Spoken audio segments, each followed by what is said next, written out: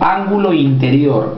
Dada la circunferencia, dada la circunferencia, tenemos por acá una cuerda, por acá otra cuerda y este ángulo que llamaré alfa se denomina ángulo interior. Ahora, esto que sea el arco AB, esto es arco AB, luego por acá tengo el arco CD, se verifica que el ángulo interior, la medida del ángulo interior a qué equivale?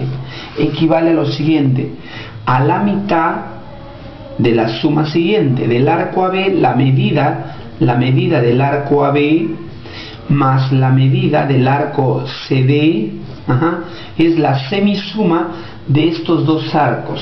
Siempre el, el ángulo interior es la semisuma de todos los arcos.